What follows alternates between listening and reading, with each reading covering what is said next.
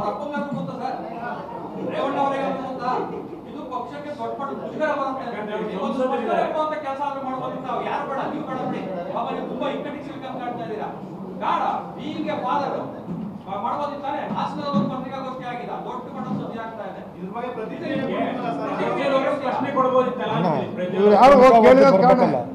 ಸಿಕ್ಕಿಲ್ಲ, ದೇಶಕ್ಕೆ ಹೋಗಿದ್ದಾರಲ್ಲ? ನಿಮ್ಮ ಜರ್ಮನಿಗೆ ಸರ್ ಸರ್, ನಿಮ್ಗೆ ಹೇಳ್ಬಿಟ್ಟು ಸ್ವಲ್ಪ, ನಾನು ನಾವು ನಿನ್ನೆ ಪ್ರಕಾಶ್ ಅಂತೇಳಿ ಕೆ ಆರ್ ನಗರದಲ್ಲಿ ಭವಾನಿ ಮೇಡಮ್ ಅವ್ರ ಬ್ರದರ್ ತೀರ್ಕೊಂಡಿದ್ರು. ನಾವು ಅಲ್ಲೂ ಕೂಡ ಹೋಗಿದ್ದೆ. ಅಲ್ಲೂ ಕೂಡ ಬಂದು ಹೋಗಿದ್ರು. ಅವರು ಹಿಂದೊಂದು ದಿವಸ ಅವರು ಬಾಡಿ ಇಟ್ಕೊಂಡಿದ್ರು.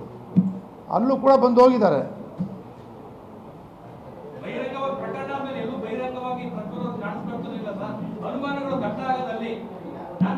ಆ ಸಾವು ಬಂದು ಹೋಗಿ ಆ ಸಾವು ಬಂದು ಹೋಗಿದ್ದಾರೆ. ನನ್ನ ವಿಚಾರ ಏನಾಗಿದೆ ಗೊತ್ತಿಲ್ಲ.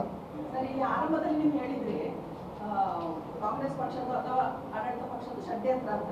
ಇದು ನೈಜ ವಿಡಿಯೋ ಅಂತ ನೀವು? ಅಥವಾ ಎಲ್ಲರೂ ತಿರುಚಿರೋದು ಆಫ್ ಅಂತ ನೀವು ಇಲ್ಲ ನಾವು ಹೇಳ್ತಾರೆ ಸರ್ ಏನು ತನಿಖೆ ಅವ್ರಿಗೆ ಬರಬೇಕಲ್ಲಣ್ಣ. ಮೇಡಮ್ ಫೈನಲ್ ಎಲ್ಲಾರ್ಗು ಏನಿರೋದು? ತನಿಖೆ. ಅದು ಆಗದೆ ಇದ್ದರೆ ಮುಚ್ಚಾಕ್ತವ್ರೆ ಅಂತ ಹೇಳ್ಬೋಯಿತ್ತು ತನಿಖೆ ಮುಕ್ತ ಪ್ರಾರಂಭ ಆಗಿದೆ. ತನಿಖೆಗೆ ಎಲ್ಲ ರೀತಿ ಸಹಕಾರ ಕೊಡಲಿ. ವರದಿ ಬಂದ ಕೂಡಲೇ ಎಲ್ಲ ರೀತಿ ಕ್ರಮ ಆಯ್ತವೆ. ಎಲ್ರಿಗೂ ನಮಸ್ಕಾರ. ಬನ್ನಿ.